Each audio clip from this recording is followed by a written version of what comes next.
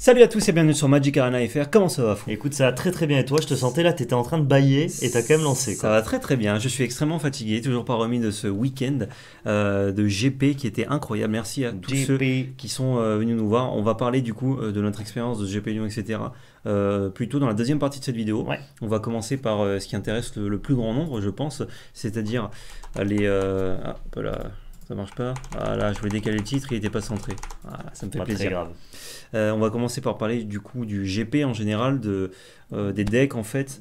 Du, côté compète de ce GP. Du côté compète, des résultats, des chiffres, voilà, euh, des chiffres qu'on a empruntés d'ailleurs au site MTG Arena Zone. Ouais. Je ne sais pas si c'est eux qui ont créé ces tableurs, mais en tout cas, ils on les a appliqués là-dessus et on vous mettra le lien dans la description évidemment pour que vous puissiez aller donner un petit peu de force à ce site ou juste jeter un œil parce qu'il y a beaucoup d'autres chiffres qu'on ne vous affichera pas ici. Voilà.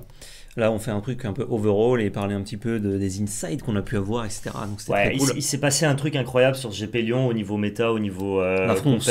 Euh, la France et au-delà de la France, le braquage. Et moi, j'ai adoré ça. Euh, moi qui adore théoriser le méta, l'analyse et tout, et ben ce que les Français ont réussi à faire sur ce GP, c'est fort, c'est inspirant, c'est voilà, c'est vraiment très très bien. On va tout vous décrypter, vous allez voir, c'est sympa. Et je pense qu'il y a plein de gens qui ont juste vu des résultats. Tu vois, des gens qui ont juste vu un top 8, bah, qui n'ont pas trop compris, vous allez, vous allez bien comprendre. Là, euh, j'avoue que pour l'avoir vécu euh, ce GP, genre vraiment bien vécu compétitivement et tout, même si je n'étais pas du tout préparé, euh, c'est, on voit vraiment la différence entre juste prendre un top 8 et se dire ok, c'est ça la méta, c'est ça les decks forts, et savoir un peu tout ce qu'il y a derrière, tout ce qui se passe, et vraiment vous vous rendez compte qu'un top 8 comme ça de GP, parce qu'un top 8 de Pro Tour c'est beaucoup plus représentatif généralement, mais un top 8 de GP, euh, si vous n'avez pas les données à côté pour analyser, ça n'a rien à voir.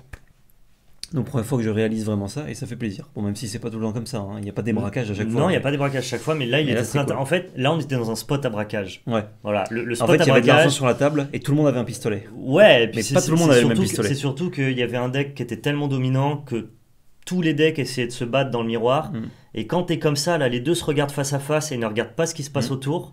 Bah, c'est les autres ah, autour les ah, bah là, les chats ils dansent. Hein. Paf C'est pas les souris qui dansent, c'est les chats. Et du coup, un chat qui danse, c'est plus fort qu'une souris. Voire même un chat qui braque des souris. Voilà, c'est un, chat qui a braqué les souris.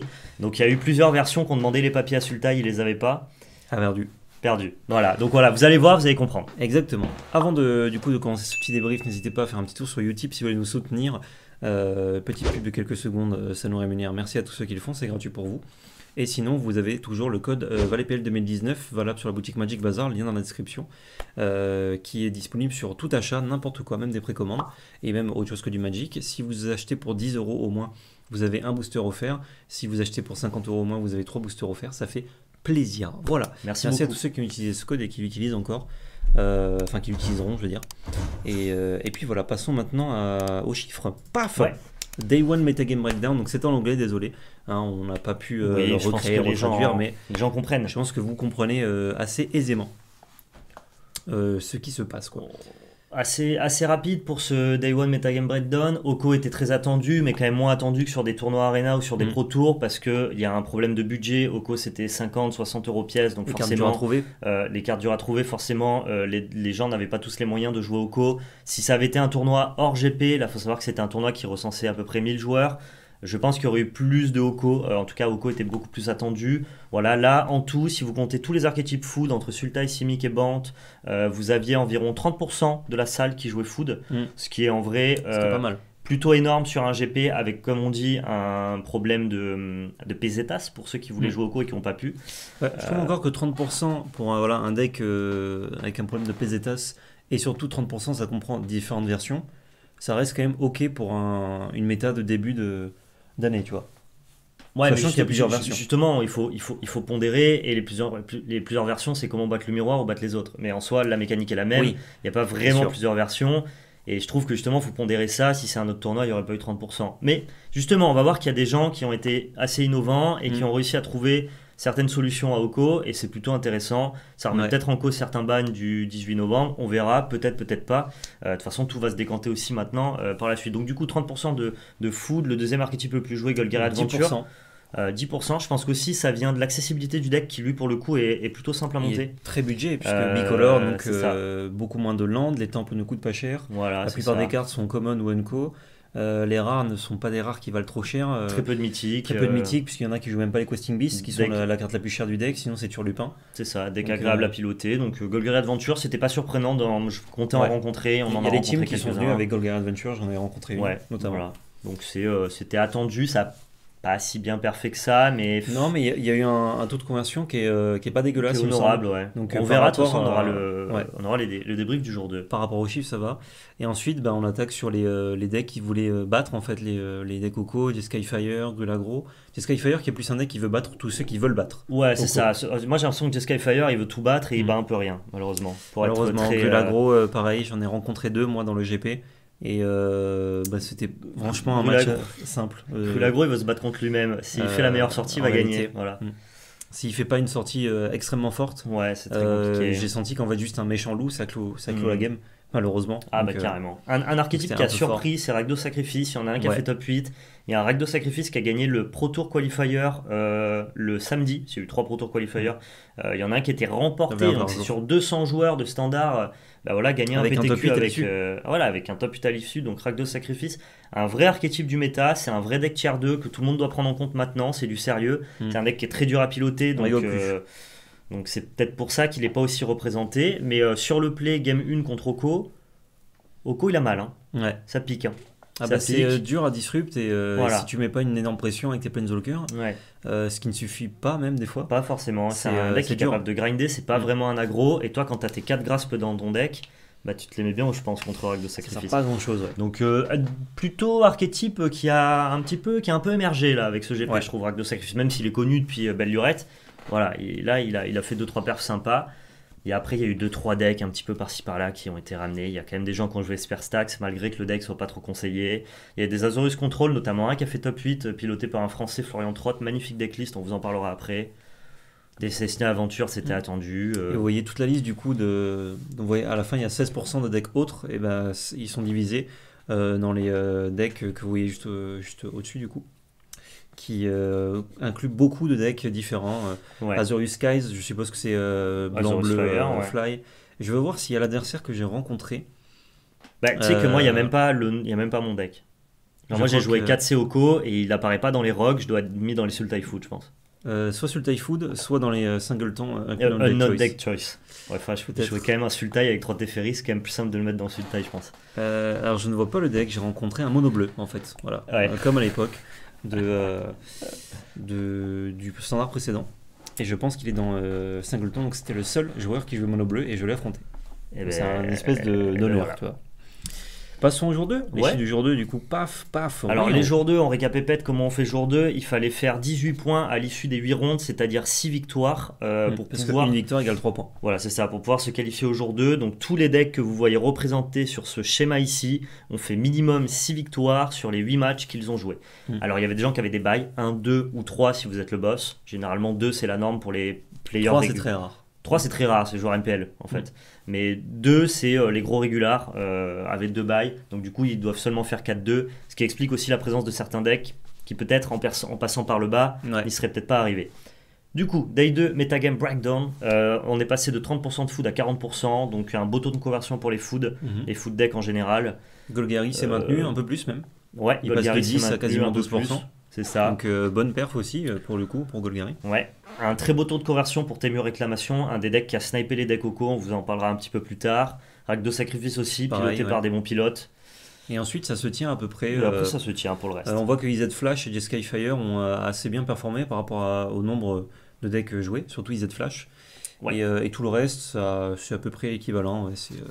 c'est normal, classique. On voit par contre que les decks autres catégories, on a taillé dans le gras. Là, ah, on a largement épuré. Abzan Wolf, là. Euh, voilà, je vois qu'il y a un 4 couleurs LM qui a perf. C'est incroyable. Ouais, il a fait top 32. Euh, c'est un, un, mec qui a fait sa deck tech sur Channel Fireball. Ok, j'ai pas vu. Et c'est. Euh, il... C'est bien? Ouais, bon. C'est intrigant. Ouais, c'est plus intrigant. Est-ce que c'est un brigand? C'est probablement un brigand, ouais, d'avoir réussi à faire une belle perf avec son deck. Que des brigands, de toute façon, ce week-end. Peut-être top 32, peut-être que j'exagère, mais en tout cas, il a fait un beau jour 2 avec ça. C'était top 320, t'as mal vu. Non, bah ça c'est pas possible s'il a fait le day 2, mais. Euh, Alors, jour 2 aussi, euh, jour 1, il y avait 944 participants, je crois. Jour 2, il y avait 170. 79, je crois. Bien, bien crémé quand même. Hein. Donc donc c'est pas mal, ou 180. Il y a quand même un deck Drone Secret aussi, hein, c'est intéressant, c'est les monobles 1000 pour ceux qui. Euh, enfin, Automeul qui tue à Phoenix et Cupid Child. Mm. Très intéressant aussi, comme quoi le, le, deck est pas tombé en désuétude, pas totalement. Bon, il n'y a pas plus de stats. Là, je pense qu'on va rentrer dans le vif, vif, vif du sujet, c'est-à-dire les win rates et ensuite après les decklists qu'on va vous présenter. Exactement. Euh, parce que le top 8, vous pouvez le retrouver euh, sur, plein de sites, euh, et puis on en parlera un petit peu juste après de toute façon. les win rates du coup de ce GP Lyon overall, donc tout sur, sur, le main event, combien de, de, pourcentage de victoire en fait pour chaque deck? En général, et aussi le pourcentage de victoire contre les decks food, très intéressant. On commence avec Sultai Food qui a du coup fait un bon taux de victoire, 54,7% c'est ok. Ouais, mais il y a un pas le meilleur. Il y a un désaveu dans le versus food parce que Sultai il a été pensé comme étant le meilleur deck du miroir. il a été pensé pour battre le miroir avec des Grassman deck.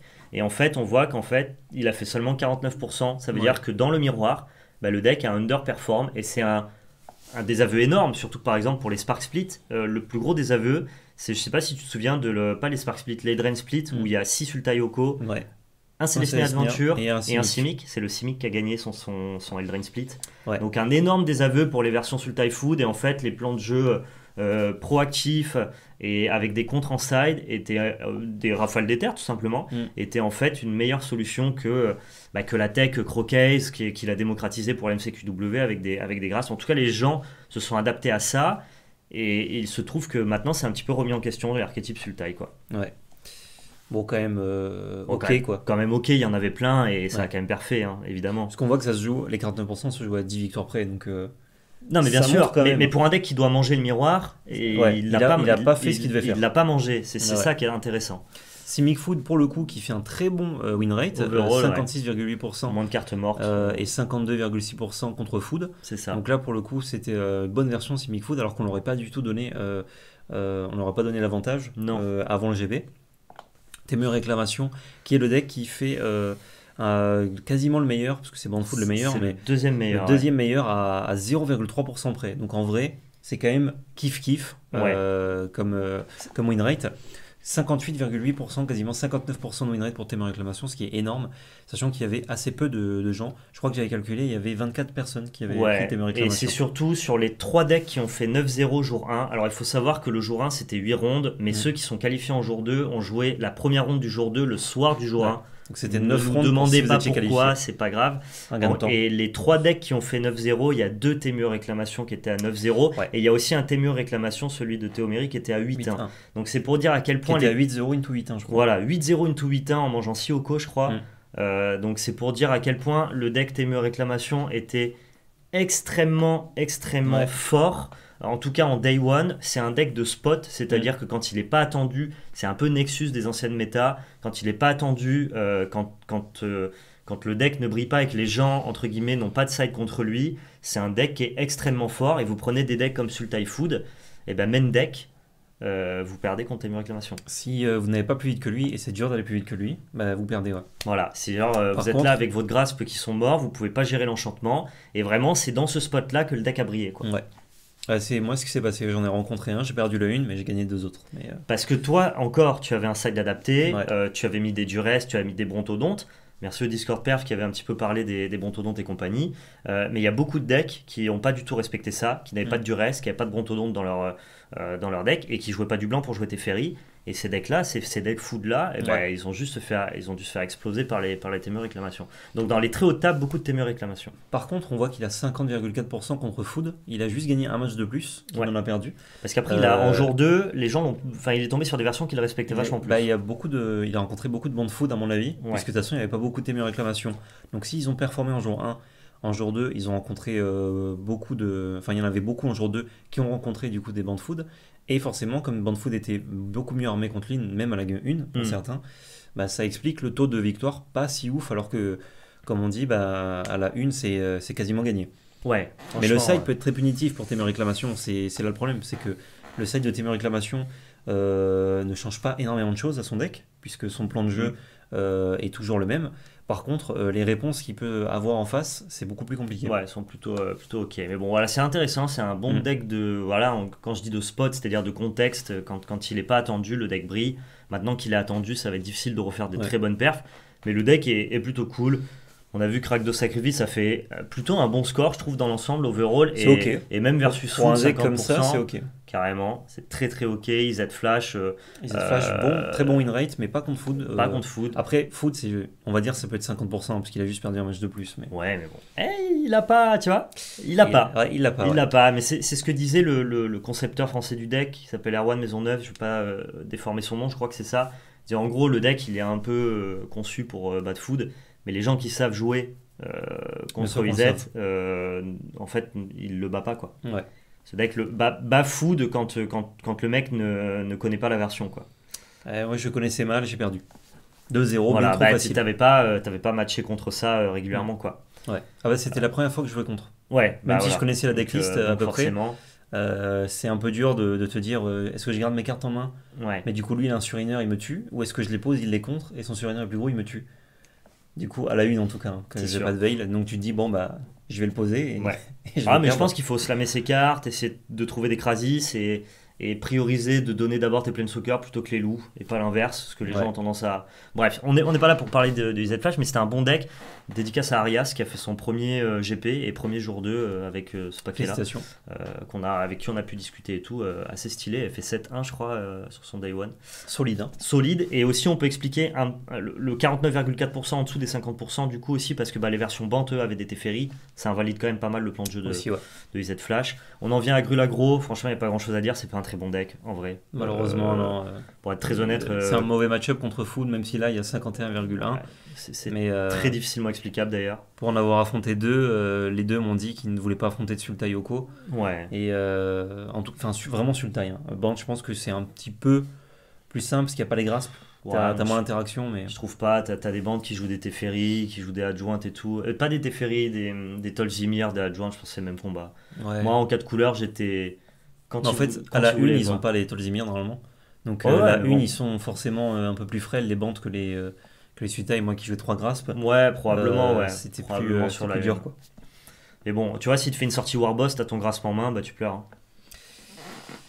Ouais, c'est franchement, c'est. Il y, a toujours des trucs verts à attraper. Hein. C'est kiff kiff. En vrai, c'est mm pas un incroyable deck. Et de toute façon, Javier Dominguez l'a prouvé. Il a gagné le MC5 en ayant un, pourcentage de win rate assez mauvais. quasi négatif. Il a fait 2-4-3. Je crois qu'il a fait 13-7 overall. Pour gagner, donc bon, voilà, Grulagro, c'est un, deck quand vous le pilotez bien, ça reste fort, c'est un deck de sortie, mais, euh, mais il n'a pas, il a pas forcément brillé. Hmm. On arrive à Band Food, incroyable deck. Le meilleur deck. Le meilleur deck overall, le meilleur deck aussi dans le miroir, donc le, hmm le meilleur deck. Euh... Non, c'est pas le meilleur deck dans le miroir. Il y en a un autre qui a encore plus parfait dans le miroir. Mais bon, ça a été le meilleur pas deck. Dans le miroir contre Food, tu veux dire. Voilà, contre Food, mais ça a été le meilleur deck du miroir. Hmm. Euh, notamment la version pensée par Rémi Fortier, qu'il a montré sur le Discord de Perf. Je vous invite à rejoindre ce Discord si vous voulez voir un petit peu du compétitif français. Très très intéressant. Il y a eu vraiment un braquage. Il faut savoir que tous les gens qui ont joué la version de Rémi Fortier, euh, en tout cas, il y a 5 joueurs euh, qui ont joué la version de Rémi Fortier dans le top 32 du GP. Sur 1000 joueurs, c'est énorme. Il y en a deux dans le top 8. Et il y a Antoine Lagarde qui a gagné avec cette version-là, qui a gagné le GP. Donc le deck, euh, en vrai, ils avaient deux semaines d'avance sur le méta. Quoi. Ils ont tout cassé. Je vais vous expliquer un petit peu les. Parce que c'est un deck qui a des plans de side mm. particuliers, qui étaient vraiment enfin, mm. très très bien pensés, très On verra ça juste après avec les, les decklists directement. Voilà. Et, euh, et ouais, Bandfood, euh, il était très costaud, il a tout cassé. Et on va parler du coup aussi d'Azorus Control pardon, avant de passer au, au directement. la petite surprise, on pourrait dire est-ce qu'on aurait pu euh, s'attendre à ce que ça performe aussi bien? Je pense pas. Il y avait les, les, les Tchèques, euh, donc Stravski, mm. Juza et tout, qui en faisaient pas mal la promotion sur leur stream. Euh, après, ils sont pas venus jouer à Lyon, eux, et honnêtement. Ils avaient peur. Ils avaient peur. Non, Martin Juza avait d'autres chats à fouetter. Il a le proto Richemont à préparer. Mais bon, voilà. en gros, il y a des gens qui disaient que le deck était plutôt fort. Je crois qu'il y en a un qui s'est qualifié en faisant top 16 du MCQW. Mm-hmm. Donc le deck était en train de monter. Mais personne n'attendait vraiment si haut. Et euh, Florian Trott, joueur français, a fait top 8 également avec, euh, avec sa version d'Azurus Control. Pareil, avec des euh, plans de side très adaptés à Oko. Et ben, quand tu adaptes un plan de side et que ça marche, sur un tournoi aussi grand et aussi performant, hmm. bah t'es content quoi. Bah, c'est celui qui a le meilleur taux de, de win rate contre Food ouais. et qui a un très bon taux de win rate de base, euh, enfin overall, puisqu'il a 54,3%. Ouais. Donc c'est quand même ok. Plutôt, plutôt cool. Euh, il y a de grandes chances qu'on vous fasse une vidéo sur ce deck là, parce qu'il est vraiment sympa. Je l'ai joué pour la première fois hier soir moi. Et... Il est plaisant à jouer en plus. Ouais, c'était hmm. c'était sucré quoi. Ouais, comme ça. Vraiment tout doux, vraiment tout doux. Euh, Noubest me disait, tu vas voir, c'est serein. Tu es tout le temps serein avec ce deck. Ouais. Et j'étais serein, quoi. T'as des comptes, tu fais bon. Ah, j'étais apaisé, quoi. C'était c'est vrai que quand je joue au co, je suis comme ça, tu vois, je suis frustré. Tu fais suis... tour au Kogo là. tu vois ce que je veux dire à toi. Alors que là, je m'en cague, je pioche des lentes. Ça ouais, tranquille quoi. Donc c'était rigolo. Yes. Passons aux petites déclises du coup. Allez, c'est parti. Hop là, et hop là, si je ne me trompe pas. On va pas vous parler de toutes les decklists du GP Lyon, il y en a plein, vous pouvez les retrouver sur tous les sites ou mm. quoi. On a choisi des decklists de français déjà, messieurs, messieurs, dames, euh, et puis euh, des decklists qui ont plutôt bien performé, ou alors aussi qui n'étaient pas attendus. Mm. Euh, on va commencer bah, par la version justement dont on parlait de Florent Trott, sa version Azorius.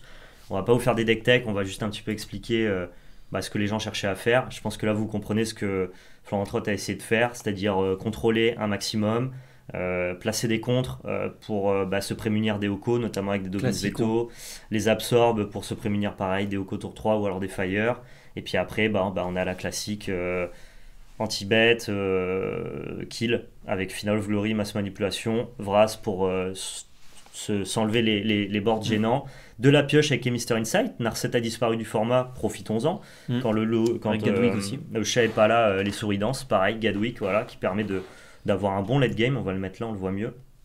Très intéressant, le Castle Ardenvol. Je vous invite à aller sur le Discord Perf, Florent Trott a fait un report de son GP, de comment il l'a abordé, comment il a pensé sa decklist, comment il side contre Oko et deux trois textes sur certaines cartes et en gros il explique que Castle Ardenvol a été vraiment très très brillant comme carte beaucoup plus que Castle Ventress mm. donc ça c'est vraiment une nouveauté euh, auquel on n'était pas habitué et c'est vrai que ça chum block extrêmement bien euh, je, jouais ça euh, j'en jouais deux dans ma version Azorius quand je testais le, pack avant quand il y avait encore Field of the Dead euh, et, moi, je me disais que ça pouvait presque être un kill euh, si tu arrives à lock. Donc, dans le format, tu peux pas trop. Mais euh, ne serait-ce que pour tempo, il y a plein de phases d'attaque où c'est vrai que je créais des tokens un, fou, un humain. Je bloquais, je gagnais beaucoup de, tempo. Ouais, je pouvais faire des trades. Donc, bah, ça, te permet, là où les boards avec Nissa Oko sont très oppressants, hmm. bah, toi, dans ce deck-là, ils sont pas si oppressants que ça parce que tu peux générer des 1 qui chum block, parce que tu as 4 Vras qui vont raser ce board là. Les decks contrôle ont beaucoup de mal parce qu'en fait ils rasent les boards mais ils gèrent pas les Planeswalkers. Bah là en fait dans cette version Azorus pour gérer Planeswalker, vous faites des masses manip ou alors des Prison Rim, la carte est brillante. C'est vraiment la première réponse préférentielle à Oko. Euh, et puis sinon voilà, vous avez pas mal de contres. Des Teferi qui respectent aussi les match comme réclamation. Euh, qui peuvent avoir des, des, intérêts de faire Vras en éphémère, Final of Glory fin de tour, euh, ton agent de tricherie, le reprendre. Il y a plein de trucs un petit peu euh, funky lol. Et ce qui est très intéressant, c'est la manière dont Florent Trott a pensé son side. C'est-à-dire que pour battre Oko qui va rentrer des Veil of Summer, c'est-à-dire que une decklist comme ça, vous vous rendez compte qu'elle explose sur Veil of Summer malheureusement. Et ben pour être le moins sensible possible à la carte, il décide tous ses contres.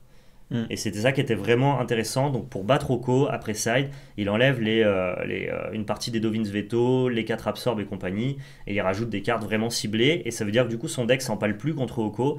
Et visiblement ça a été une, une tech plutôt gagnante. Quoi. très très intéressant. Il fait 8ème je crois.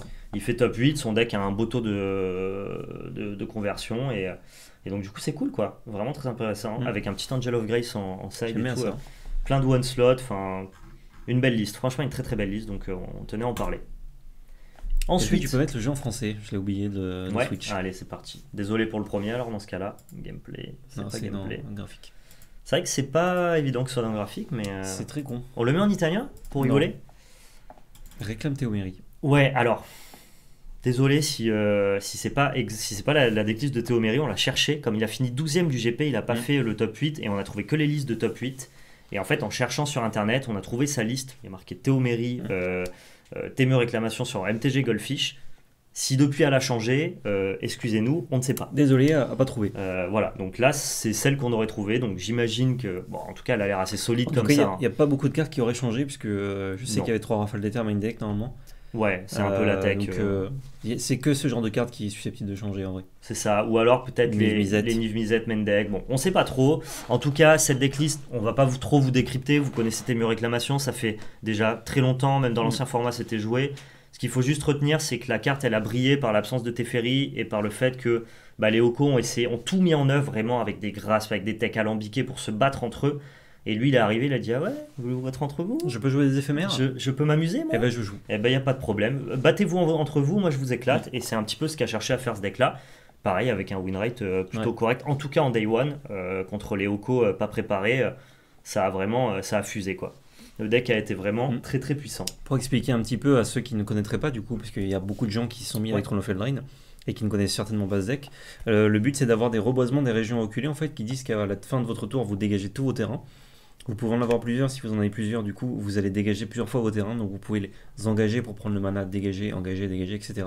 Et quand vous avez plein plein de mana, vous faites une expansion explosion sur votre adversaire, donc vous allez infliger X blessures et piocher X cartes, et généralement vous lui mettez 20, et il est mort. Ouais, alors généralement la première elle est à 10. Ouais, ou même euh, moins. Voilà, c'est ça, en fait, généralement la première elle est à 10, et vous piochez 10 cartes. Et ce qui est très sympa, c'est qu'en plus, si vous prenez Veil of Summer sur Explosion, comme il y a deux cibles, euh, même si l'adversaire prend pas 10, vous allez piocher vos cartes pour en trouver une deuxième. Généralement, sinon, tu vas attendre des spots où tu as 25 mana, tu fais explosion avec euh, Rafale d'éther, Dispute Mystic Backup. Enfin, mm. Le deck est vraiment très très fort si tu lui imposes pas une cloque très très rapide, c'est-à-dire de la pression, ou alors si tu n'arrives pas à empêcher son plan de jeu avec des Teferi pour qu'il ne puisse pas jouer des sorts en instantané. Le deck est ingrindable, extrêmement fort et peut tuer très très vite. Euh, si mm. vous faites euh, spirale de croissance dans reboisement tour 3, tour 4, faites une belle expansion petite expansion avec 3-4 cartes et le tour d'après c'est champagne quoi. Ouais. Donc euh, vraiment très très bon deck. Voilà, je, pas, pas, pas grand chose à rajouter. En tout cas, c'était un très bon call que de ramener ça, c'était le bon moment. Mm. Maintenant que la tech est connue, c'est plus dur. Je, je, vois moins le, deck performer. surtout qu'on sait maintenant qu'Azorius est un bon deck contre les deck food. Ouais. Et que Azorius est un bon deck contre réclamation, puisque je ah, des contre. Ah, enfin, genre, c'est ah. impossible de gagner. C'est pas un très euh, bon deck contre réclamation, parce qu'on grind pas réclamation. Hein. Ouais, mais genre, t'as tes ferries, donc ça empêche de jouer sa combo. Tu joues 4, euh, 3, tu joues 9 euh, contre main deck. Franchement, je pense qu'il a beaucoup de mal, tes réclamations, à la une en tout cas, à, faire quelque chose à mon avis. Ouais, ces decks-là ont quand même la réputation de de, de, de, pas être grindé, quoi. Genre, tu peux pas les grinder, et même s'il joue pas des instantanés, il va juste accumuler des manas, et. J'irai pas jusqu'à dire qu'Azorus est un très bon match-up, je sais pas trop comment ça se dynamise, je sais juste que les versions réclamation c'est assez. Euh, assez fort. Mais effectivement, tu as les Teferi, qui peut un petit peu. Euh, ah, euh, t'empêche de combo, te bounce euh, l'enchantement, donc ça t'oblige à le reposer, etc. Je trouve que c'est quand même euh, assez fort. Ouais, surtout, bien sûr. Surtout les Temurs qui ne jouent plus de contre main deck. Bien sûr, bien sûr. peu de contre en tout cas. À, voir. Je, t'avoue que ce match-up-là, il n'a pas dû beaucoup arriver. Euh, non, bah, ils étaient tous les deux peu représentés. C'est juste que ce qui, est, très fort contre réclamation, c'est Teferi pour t'empêcher de faire nimp et de la mm. pression, et Azorus par contre t'en mets pas. C'est un petit peu ça l'idée quoi. Mais pourquoi pas, effectivement. Et enfin, on va venir sur le, le casse du siècle, hein, euh, sur la version euh, Bantramp bah, des Français du Discord Perf de Rémi Fortier, qui l'a transmis bah, à tous ceux qui l'ont écouté en fait, tout simplement. il fallait écouter Rémi Fortier. Euh, qui est bah, du coup, je pense, le meilleur archétype de Oko. Ça a eu le meilleur pourcentage overall, ça a eu le meilleur pourcentage dans le Mirror de Food. Euh, ça a été euh, bah, de très loin le meilleur deck de ce GP. Il y a eu pas mal d'articles sur ce deck-là et tout, donc vous en avez peut-être déjà entendu parler. C'est une version Simic au préalable, Simic main deck, qui devient Bant après side pour des Teferi. Et vous direz, mais pourquoi Teferi ça bat le miroir? Bah, En fait, ce qui est très très intéressant, c'est que la meilleure carte dans les miroirs de side. Bah, en fait, c'est un duel de side et c'est surtout que la meilleure carte dans les duels d'Oko, c'est masse manipulation. Ça, vous me direz, on le savait. Ça fait très longtemps que Mass Manip, on sait que dans les duels de midrange ou plein soccer, c'est la meilleure carte. Pourquoi Mass Manipulation avait été abandonnée? Parce que Mass Manipulation, c'est une carte qui décède sur Voile de l'été. Hmm. Mais ça décède vraiment très très fort. Euh, très présente dans les decklists euh, en side, voire même certains jeux main deck. Ouais, pour se prémunir euh, des Noxious Grasp en fait. Hmm. Et donc du coup, bah, ces masses manipulations, elles étaient euh, complètement euh, non pertinentes. Personne ne pouvait plus les jouer. Et en fait, ce que s'est dit Rémi et sûrement sa team, je ne sais pas s'il a créé le deck ou pensé le deck tout seul, c'est que bah ok, euh, les gens à la une, à part ceux qui jouent des Veil main deck, mais c'est quand même rare, ne vont pas jouer de Veil of... Voilà, à part ces gens méchants, ne vont pas jouer de Veil of Summer main deck. Donc du coup, je vais gagner la une grâce à mass manip. Ça permet vraiment de revenir de spot où vous êtes infiniment derrière. Et au pire, ils en jouent une ils en jouent peu. Voilà. Donc, euh, dans le pire des cas, faire euh, Veil of Summer la première, c'est pas très grave. C'est ça, exactement. Donc du coup, tu sais que tu vas gagner la une grâce à ta masse manipulation, qui est vraiment genre de loin euh, une carte complètement game breaker. Et au-delà d'être game breaker, c'est que ça permet de revenir de situations hmm. complètement ubuesques, quoi, incongrues. Et ah bah, si tu inverses le board, tu es, ton adversaire est en train de gagner, bah, ben, c'est toi qui es en train de gagner. Donc du coup, masse manipulation, vous allez gagner la une parce que vous jouez ça. Et ce qui est très intéressant, c'est que du coup, bah, les gens ils sont en mode Oh vite, vite, je rentre tous mes Veil of Summer mm. Je rentre mes contres et tout. Genre, je ne veux pas me prendre masse manip. Et tu ne te prendras pas masse manip dans un setup ouais. où il n'y a pas Teferi qui rentre. Mais il y a Teferi qui arrive. Et là, il y a Teferi qui arrive. Et Teferi dit quoi? Bah t'es contre et au summer, tu te les mets où je pense, t'as des tu cartes les joues pas ton tour, donc tu les joues pas. Tu les joues pas, et moi je vais continuer à te masse manipuler. Au-delà de ça, on a un plan de jeu extrêmement linéaire à base de Wa, Druides de Paradis, Oko, Nissa, Dandekrazis. On a même plus de rentes que dans les autres decks parce qu'on joue deux spirales de, croissance, de plus. Ça maximise les chances de faire Nissa tour 3. Le deck est extrêmement bien pensé. Il n'y a aucun land qui arrive engagé. Il n'y a pas de fabuleux passage ou de temple. On veut pouvoir lander dégagé à tous les tours. Et que le château aussi, on n'a pas d'île. Il n'y a que le château si on n'a pas d'île. Il y, a il y en a deux et il y a beaucoup d'îles. C'est ça. Très intéressant, c'est que lui, pour avoir un peu d'interaction dans le miroir, et surtout quand tu commences pas, bah tu te dis, ah c'est vrai que les Sultai, ils ont quand même Noxus Grasp, c'est sympa et tout. Mais que Nenni, vous avez Rafale des Terres. Ça fait à peu près la même chose.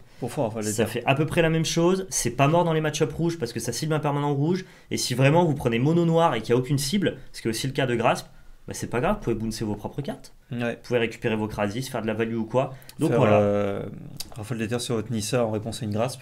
Pour Carrément, pour pouvoir la jouer le tour d'après. Bref, la decklist, elle a roulé sur le GP. Je pense que tous les gens qui ont joué ce deck-là euh, bah, sont extrêmement contents ah. et reconnaissants. Je crois que Rémi Fortier ne joue pas de spirale de croissance. Alors, ce qui s'est passé, c'est que Rémi Fortier jouait une spirale, un Veil of Summer main deck. Ah, euh, et tous les gens qui ont suivi la liste de Rémi Fortier, notamment Thierry mm. aussi qui a fait euh, top 3. Parce que là, c'est la decklist gagnante du coup d'Antoine Lagarde. De Antoine Lagarde. Antoine Lagarde est le seul à avoir retiré ce Veil of Summer et rajouté une deuxième spirale. Mais sinon, les 75 cartes sont à l'identique. Donc voilà, extrêmement. Euh, non, il y a une botte aussi en side dans la decklist de Rémi. Ah, à la qui, place qui a été remplacée par une deuxième negate. Donc, Antoine Lagarde a fait un petit peu. C'est vraiment du, du fignolage, quoi. C'est ce qu'il a fait gagner. C'est ce qu'il a fait gagner. Il a, il a fait sa popote. Bah, je veux dire, si vous prenez euh, cette version ou celle de Rémi, vous allez jouer de la même façon. Ouais, et vous allez vous régaler, quoi. Le deck tellement, euh, tellement bien pensé, en fait. Sa table de side est tellement intéressante.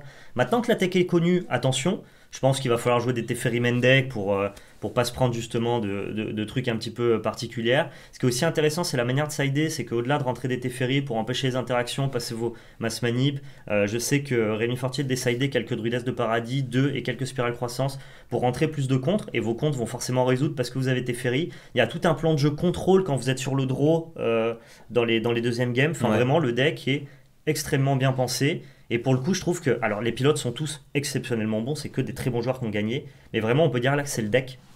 C'est le deck qui a, qui a, fait le. Qui a fait le, le, truc, quoi. Bah, super bien pensé pour l'ensemble de la méta. C'est euh. ça. Ils ont été en avance sur le monde entier. Il y a eu le GP Nagoya avec 2000 joueurs, 1800 joueurs. Tout le monde joue encore sur le taille, quoi. C'est-à-dire que les Français ont été en avance sur la méta, quoi. À la traîne. Euh, à noter, dernière fact, par contre, que sur les deux top 8, il y a 14 decks Oko quand même. Quand même. Parce que là, on dit mass manip et tout, mais il y a Oko le voleur de cours Oui, oui, il y, a Oko tour 2 qui solve déjà toutes les games. Mais, euh, bon. mais, bon. pour tout le reste, euh, il n'y avait pas Mastercard, il y avait, Mass Manip. Quoi. Ouais, et ça, c'est pas mal. Pour euh, le top 8 en général, il y a aussi un arc de sacrifice, on l'a déjà dit, mais on le redit, qui a fait top 8. Ouais. blanc bleu contrôle, donc deux bancs trempe, il me semble. ouais, il y a deux, deux versions de Rémi Fortier. deux Sultai Oko trois Sultayoko, un finaliste et, un, et deux, deux qui ont perdu Alors, en 3, 4, 5, 6, 7, et ils nous ont manqué. Et le Azorius contrôle de. Non, on l'a déjà dit. Ah ouais? Attends, ah, dis pas de bêtises. Rakdos, Azorius, ouais. de 30, ça fait 4, 3 Sultayoko. Ça fait 7. Ça fait 7. Il n'y a pas un thème réclamation qui fait top 8 Et non, ils font, ils font tous un très très bon score. Il y en a dans le top 16, c'est sûr. Ah, quelle est la liste qui fait euh, top 8 en plus? Ah, j'oublie. Ah, je, plus j'y pense et plus j'oublie en plus. Attends, je vais regarder. Allez, on va voir. On va voir Parce que je voulais juste dire les decks euh, qui font top 8. Bien sûr. de toute façon, vous trouvez ça très très facilement, évidemment. Oui.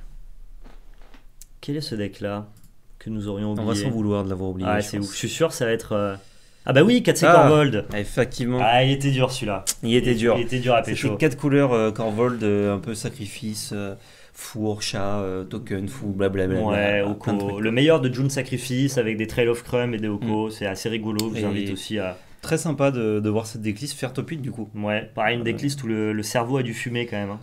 Ouais, je pense que le mec, il, est, il, a pris deux semaines de vacances derrière. Ouais, carrément. J'en ai affronté un en ronde moi de ce deck là. Mm. Et euh, bah, c'est moins fort que Nissa euh, Krasis, mais. Mais ça reste ok. Mais ça reste ok. si le mec le pilote bien, je pense que c'est redoutable. C'est un deck de pilote. Parce que tu peux, tu peux pas trop euh, interagir. Il fait des trucs, et même si tu veux faire des trucs, il fait oui, oui. Du coup, je vais continuer ma sauce, etc. Tu vois, il s'en fout un peu. Non, mais il est gentil, tu vois. Il dit ok, tu l'as eu, tu as tué ma bête. C'est ça, ça, peut ça peut grinder des games à coup de, de petits dégâts et tout, donc c'était vraiment super sympa. C'est fini pour la présentation des decks Ouais. T'as fini, oui C'est fini, oui. Mais, euh, mais c'était cool, quoi. Alors après, évidemment, on a un peu désavoué sur le taille euh, Oko. Il y en a quand même 3 dans le top 8. Il y en a plein qui ont été représentés. Ça reste un très bon deck. C'est juste que, bah, en fait, la version Bant avait en fait, tellement euh, bien analysé. Très bon deck, mais pas la meilleure version. Et encore une fois, euh, c'est dur à dire que c'est pas la meilleure version, puisque là, il y a une nouvelle version qui la bat. Euh, et qui euh, est bien positionné dans le fil. Qui là-bas dans les deux sens. Hein. Ouais, qui là-bas. Mais en même temps, on se dit, euh, cette version-là, Bant, est très bien parce que Sultai Yoko existait. Si Sultai Yoko n'existe plus et que du coup on se concentre sur Bant, bah, c'est plus la meilleure version Bant, puisque du coup les autres s'adaptent et ainsi de suite. Il faut encore changer des trucs. Donc ah, c'est assez rare les, les méta, je trouve, où il n'y a pas vraiment une version souveraine. C'est bah, il y a la version souveraine en ce moment et on peut faire une autre version qui va la battre et battre le reste mais ensuite la version qui est battue va disparaître et euh, c'est un cycle un petit peu euh, infini, mais euh, il y a quand même énormément de cartes qui ne bougent pas. C'est juste le corps une dizaine de cartes tout ce qui switch et, et, toutes les autres cartes par contre qui restent bien solides. Quoi. Bah, c'est très intéressant en termes d'analyse et de, de, compréhension de méta. on est sur un standard ok qui est pas sain, il y a plein de hoko et on est les premiers à le dire. Par contre, en termes d'analyse et tout, ce qu'on réussit à faire la team Areni, c'est impressionnant. Mm. C'est et que ça soit aussi bien récompensé. Je rappelle, il y a un top 33, un top 32, un qui fait dans le top 20 ou top 16 et deux en top 8. C'est impressionnant sur, euh, sur un GP de, 2000 joueurs. Quoi. Et ça réside aussi dans le fait que les gens ne savaient pas. Ouais. Euh, les gens ne savaient pas, la decklist a été postée, je crois, euh, la veille du. Alors, il, a, il a posté la veille avec ses, avec ses tables de side, donc il y avait des gens qui pouvaient quand même switcher au dernier moment. Mais mm. bon, si, si vous le connaissez pas personnellement, qui vous dit pas pourquoi il a choisi telle ou telle chose, tu comprends pas forcément, tu sais pas comment il faut s'aider et tout, mais, euh, mais ouais, c'était super intéressant. Ils ont, vraiment un braquage, donc félicitations à eux. Mm. Très très beau. Très beau. Et parlons un peu du coup d'autres choses, enfin du GP. Mais Attends, on va parler de euh, nous. Non pas des chiffres, de nous. C'est le moment là, mon euh, ego trip, tu vois. Un énorme merci ah, à tous ceux qui sont venus nous dire bonjour, tous ceux qui, qui ont osé, puis il y en a qui, qui avaient un peu peur, qui ont attendu le dimanche pour venir nous saluer. Et ben, et qu'on n'a pas revu par la suite. D'ailleurs, désolé euh, à cet abonné qui, euh, qui voulait euh, une petite griffe, une petite dédicace sur une carte ou sur son tapis. Et, qu'on n'a pas revu par la suite, désolé. Mais écoute, si jamais tu reviens au GP Lyon en, en, mars, on se reverra. on se reverra certainement, puisqu'on peut déjà dire que on prévoit d'y revenir. Alors on va voir, bien sûr, si ça tombe au bon moment, si financièrement on peut le faire, etc. Mais en tout cas, si toutes les conditions sont réunies on sera en mars au GP Lyon, ça c'est très très C'est un GP en standard. Et c'est un GP en standard. C'est bon. Et pour celui qui est à Bruxelles en janvier, celui-là ça risque d'être très compliqué par contre. Ouais, c'est moins. Et puis c'est euh, pas un GP standard surtout, c'est un, GP, pionnière. Donc, euh, donc euh, voilà. Il y a des gens qui nous ont demandé, c'est pour ça que j'en parle. Je pense que celui-là on ne pourra pas y aller malheureusement. On va le dodge comme on dit dans. Voilà, esquive. Mais c'est dommage parce que ça m'intéressait quand même le pionnier. ah bah, en ce moment, PL et moi on a une hype sur le pionnier. C'est trop bien. Voilà. Du coup, euh, ouais, merci à tous ceux qui sont venus nous voir euh, pour parler un peu, ceux qui n'ont pas pu venir, etc. et qui se demandaient, parce qu'on n'a pas pu faire de vidéo, il n'y aura pas de vidéo un peu vlog, euh, on n'a pas eu le temps en fait. Il faut savoir que. Ah, on a gardé pour nous jalousement tous ces super moments avec. et surtout, le temps juste de filmer, de, le réflexe, on n'avait pas le temps, puisque le vendredi, on arrive au GP, donc sur le, le lieu, à 11h à peu près. Ouais, ça. On n'a pas pu faire une partie avant 17h. Ouais, on a vraiment pris le temps de euh, rencontrer le temps de, de, rencontrer les gens, le temps de récupérer nos cartes pour avoir nos decks aussi, pour pouvoir jouer. Euh, on pensait euh, pouvoir peut-être faire le tournoi de midi 30, c'est le fou que nous étions, et non, pas du tout. Mais les ambitieux, non, moi je pensais faire celui de 10h30, je suis arrivé à 11h déjà. parce que la veille, ce qu'on vous raconte pas, c'est qu'on est allé chez Magic C'est Chic, qui avait loué une baraque avec leurs potes. Très cool, ouais. Et à 1h du mat. vous d'ailleurs, vous êtes les best. À 1h du mat, la bonne idée. Venez en cube.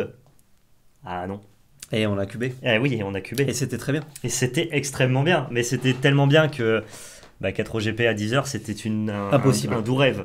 Ah, impossible. Voilà. Euh, rentrer bien trop tard. On a, bah, pour vous dire, sur le GP, on a dormi en, moyenne 4 heures par nuit. C'est ça, on a fait 16 heures en 4 jours. Mais c'était tellement bien. Mais c'était trop bien. Voilà. Fatigué, mais très bien. Donc, euh, d'où les cernes qui étaient déjà là, mais qui sont encore plus là. Donc, euh, bah, pas grand chose à dire. Si c'était, franchement, merci énormément à tous ceux qui sont venus. Euh, on, a fait un, on a passé un, un, moment extraordinaire, un GP qui était vraiment dingue, euh, qui était compétitif, etc. Comment ça, pas grand chose à dire? Un instant de grâce. Un instant de grâce? PL en jour 2, avec du roleplay quand même. C'est vrai. Franchement, j'en ai parlé sur mon stream. C'était l'instant de grâce quoi. Le top deck, je, sais que tu en parleras. Euh, J'en parlerai sur mes streams, mais cette vidéo sortira après mon stream. Ouais. Donc euh, les gens. Ben, euh, venez nous voir dans le passé. Venez nous voir dans le passé. alors regardez la rediff qui sortira. instant de grâce. Le, top deck en win and in pour faire jour 2, magnifique. Voilà, faut savoir, donc, comme on l'a dit tout à l'heure, il faut faire 6 victoires. j'étais à, à 5-1. non, j'étais à. 5-2. Non, j'étais à 5-1 à un moment. Ah oui. Donc ça veut dire qu'à 5 victoires et une défaite, sur mes deux prochains matchs, il faut que je fasse juste une victoire pour être qualifié. Je fais mon prochain match, je passe à 5-2, je perds sur pas grand chose en plus. Sur, euh, je, dois enfin, je dois piocher n'importe quelle carte. Je dois top deck, je dois me mettre à la place de moi-même. En fait, il y a deux games d'affilée, je joue contre Golgari Adventure. Il y a deux games d'affilée où en fait il faut que je pioche une massacreuse euh, ou alors une Krasis ou un truc qui me permet de reprendre un peu le board euh, et, de piocher des cartes. Même une massacreuse, clean son board, j'ai gagné. Instant. Et les deux games d'affilée, je suis en situation et je ne pioche rien à part des landes. Donc bon, bah tant pis, pas de chance. Donc je suis à 5-2. Dernière game, si je la perds, je fais 5-3, je suis pas qualifié. Et j'ai passé la journée à jouer pour euh, rien, entre guillemets. Si par contre je la gagne, je suis qualifié pour le jour 2, et là c'est trop bien. Et euh, je suis à 1-1 contre un Golgari Adventure. Contre un Golgari Adventure, un Autrichien, je crois. Ouais. moi j'ai vécu ça, en plus ce qui est trop beau, c'est que moi j'étais déjà out du tournoi, donc j'ai vécu la game euh, juste derrière les épaules de PL. Donc en fait je l'ai vécu. Autant que toi ce top deck. Tu vois. Ça, ça fait plaisir. C'est vraiment trop cool. Et euh, je suis dans une situation où euh, je suis pas très frais. Ah bah t'es à deux pèves avec un 2 de fly en, face. Voilà, j'ai pas mal de trucs qui me font vivre. Par contre, de trucs qui me font gagner. Il y en a qu'un. Euh, j'en ai que. Non, j'en ai deux. Parce que du coup, Massacreuse me fait gagner. Puisque je rase son board, encore une fois. Et je mets une 4-4. Mais le truc qui est encore mieux que Massacreuse, c'est Krasis. Parce que j'ai Nissa sur le board. Et je top deck Krasis. Ah, incroyable. Ce qui est surtout, il faut vraiment mettre le contexte. T'es à 1-1 dans, ton, dans, ta, dans ta game où tu perds ou alors tu gagnes tu es à 2 PV, tu n'as pas de bloc en vol, ton adversaire vient de jouer un 2 de fly et te dit texto, si tu top deck un land, t'as perdu. Si tu top deck une ah Nissa, t'as perdu. J'avais euh, une massacreuse en main, donc je pouvais piocher un deuxième mana pour la jouer. Mais il fallait que ce soit un marée ou un Ah d'accord. Enfin, en gros, il te disait clairement, il y a beaucoup de top decks qui font que tu vas juste prendre tes deux points vol et rentrer chez toi malheureusement. Et là, la carte du dessus de ton pack, tu mm. t'as Nissa sur le board qui fait masse mana et c'est une Krasis et là c'est c'est la délivrance. Et je revois ton adversaire qui fait Oh Ouais. Parce que lui, il sait qu'il a perdu. Euh, ouais, je mets Krasis. Euh, je gagne 4 points de vie, Krasis à 8. Je gagne 4 points de vie, je pioche 4 cartes. Et il fait Ah, top deck Krasis. et il se recule comme ça, il fait Fuck me. Et là, c'est incroyable. Je l'ai trouvé fort sympathique. Ah, mais euh, j'ai rencontré que... des adversaires sympathiques. Parce que c'était incroyable. Moi, je peux avoir envie de manger l'oreille de mon adversaire. Quoi. Ah, franchement, il te top deck à la gueule comme ça. Mais c'était incroyable. C'était ouf. Et et en plus, nous, voilà, il y avait donc moi et quelques abos qui étaient derrière, et nous, dans nos têtes, on était là en mode, alors, méchant loup, ça suffit, mais peut-être pas. Euh, il faut qu'il trouve quoi là dans ce spot? Euh, Noxus Graph, ça touche pas la 2 de fly, et on était tous là en mode, bah, c'est Krasis, il faut Krasis quoi. Mm. Et Krasis. Krasis, ouais. Ou alors euh, Malanor dégagé, mais euh, ça me faisait moins gagner. Ouais, ça, ça me faisait vivre plusieurs tours, mais ça me faisait pas gagner. Et en plus, on était au tour additionnel, donc je crois qu'en fait, ça suffisait pas.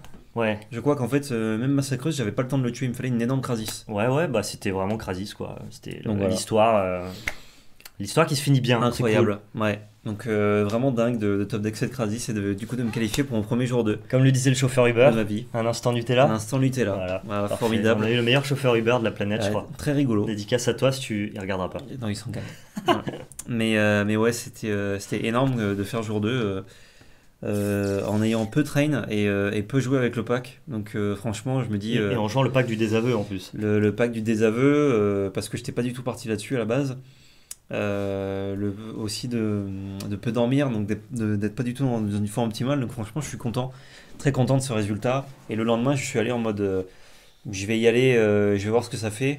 Et j'ai perdu deux matchs sur, ça fait quoi? sur fatigue et, et, euh, et, manque d'entraînement parce qu'il n'y avait que des joueurs redoutables en jour 2. C'est épuisant un GP, il faut se rendre compte déjà euh, quand vous mm. faites tout le jour 1, vous jouez 8 rondes en format papier. Euh, pour ceux qui font que du arena, jouer en physique, on en a déjà parlé pour la vidéo GP Lyon, c'est usant. Alors en plus, quand vous êtes qualifié en jour 2, que vous manquez de sommeil, voilà, jour 2 c'est dur quoi. Pas, pas, facile. Donc ouais, j'ai fait 1-3 au jour 2, une victoire, 3 défaites, et à partir de ce moment-là, je sais que je pouvais, même si je gagnais mes deux prochaines rondes, je pouvais pas faire euh, être dans les places payées ou en tout cas c'était très dur. Donc j'ai préféré arrêter tu, tu, pouvais mais il fallait faire full win parce que je sais qu'Arias Arias a fini à, 101ème en faisant 9-5-1 donc tu euh, pouvais encore. 9-5-1 tu pouvais faire 10-5 toi. j'étais déjà à 5 euh, lose en fait tu étais à 7-5 je crois donc il fallait que tu fasses 3 victoires. Non, ah non, non j'étais à 9-6 à 7-6 pardon T'étais à 7-6, donc t'as fait 1-4 alors le jour 2 Donc si t'étais à 1-3, mais j'étais à 6-3 en jour 1. Ah ouais, et c'est en jour 2, parce ah, que la première game du, du soir, c'était le jour 1. Ok, on s'est compris. Ok, si t'étais à 6, c'était difficile de payer. Donc t'as bien fait C'était très dur, je préfère aller euh, passer aller récupérer une petite boîte. Ouais. récupérer une petite boîte. On a fait draft et le drain, et c'est vraiment un format super cool. Ouais, on a drafté avec les abonnés, c'était trop bien. C'est malheureusement le seul jour qu'on a eu disponible vraiment pour les abos. Pour jouer avec eux. Mais après, on était dispo tout le long. Et, ah même bah, moi, entre mes rondes, je croisais tout le temps les abos. Merci beaucoup à la gaufre au sucre qu'on m'a offert euh, juste avant ma dernière ronde qui m'a fait gagner. C'est grâce à cette gaufre que j'ai top d'écrasé, je pense. Le mec nous a trouvé tous les deux pour nous filer une petite gaufre dans la poche mm. entre deux rondes. Fort sympathique. On nous, a, on nous, a, offert plein de trucs, des petites gaufrettes. On nous a offert du cidre. On nous a offert des beignets au Nutella. Euh, juste le du beignet au Nutella, oui, c'est vrai. C'était un instant Nutella de dingue. On nous a fait signer plein de, jolis euh, marchands, euh, marchands Duval, ouais. Euh, altéré, foil et tout. Enfin bref, c'était super sympa. Merci beaucoup Alfie pour toutes les cartes du cube. Vous avez été les boss, Alfie, le boss, Lancelot, le boss, les viewers, les boss.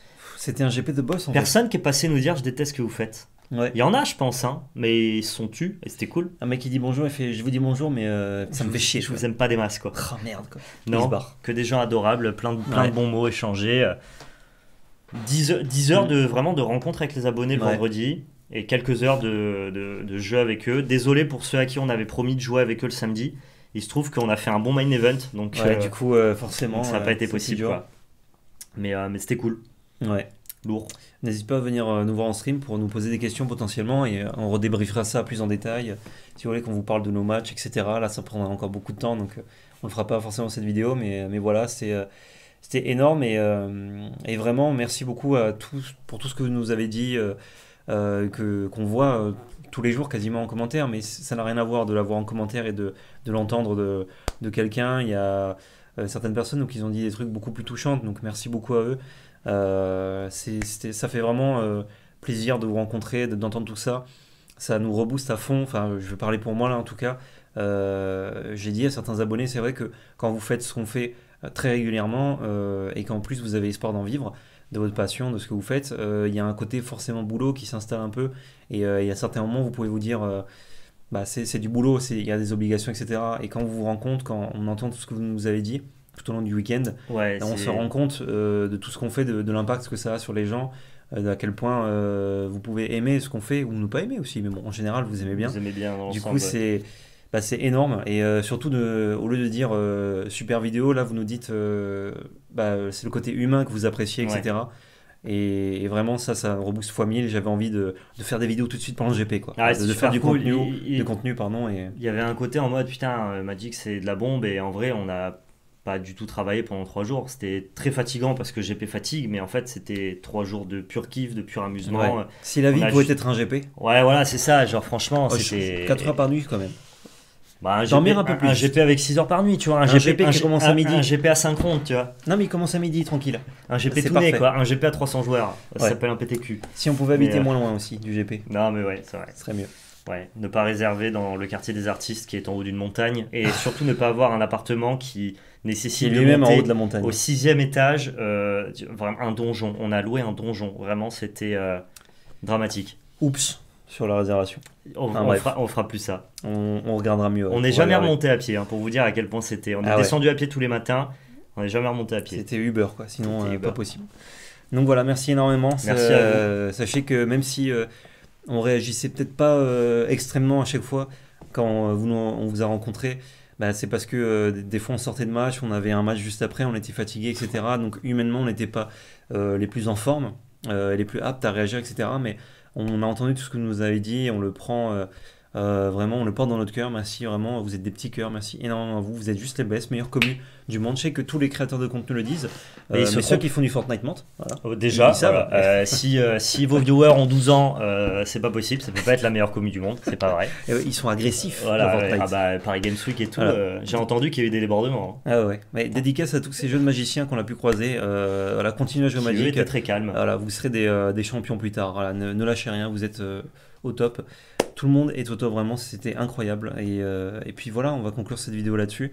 N'hésitez pas à venir nous voir en live du coup pour avoir encore plus de débriefs, d'insight ou à regarder les rediffs. Et merci à tous les potos qu'on a croisés. On en a déjà touché un petit mot et tout, mais dédicace aux potos. Voilà, Magic Sechi, Quentin Lampe-Rouge et tout, bah, tous les collègues mm. qui ont loué avec eux ce magnifique appartement avec ce salon marocain incroyable où on a cubé et tout. Enfin bref. Mention spéciale à Quentin Lampe Rouge qui euh, a, ramené, a gagné pendant une carte Fubeltup géante. Incroyable. Donc, euh, je crois qu'elle fait 1 mètre sur, euh, sur 80 cm, un truc comme ça. Elle était magnifique. un, immense. Un adorable monsieur, ce Quentin Lampe Rouge. Le boss, à toi. Le boss des boss. Le boss des boss. Et merci beaucoup pour cette brasca. J'aurais aimé que tu me la dédicaces d'ailleurs. Formidable. La prochaine fois. On vous fait d'énormes poutous euh, après cet instant émotion. Euh, n'hésitez pas à checker du coup nos réseaux sociaux pour ne pas louper notre actualité. Euh, Twitter, Discord, tous les Discord, il y en a 1000. ainsi que Facebook où on est très actif, on a beaucoup de retours.